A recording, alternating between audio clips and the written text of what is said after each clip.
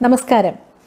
മലങ്കര സഭയുടെ പരമാധ്യക്ഷനും കിഴക്കിന്റെ കാത്തോലിക്കായുമായ പരിശുദ്ധ ബസീലിയോസ് മാർത്തോമ പൗലോസ് ദ്വിതീയൻ കാത്തോലിക്ക ബാവയുടെ ദീപ്തമായ സ്മരണകൾക്ക് മുമ്പിൽ ശിരസ് നമിക്കുന്നു.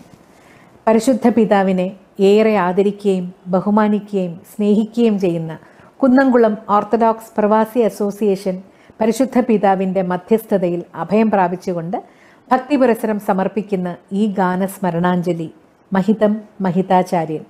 തിരുമേനിയുടെ മുപ്പതാം ഓർമ്മ ദിവസമായ ഇന്ന് പുറത്തിറക്കുവാൻ കഴിഞ്ഞതിൽ എനിക്ക് വളരെയധികം സന്തോഷമുണ്ട്.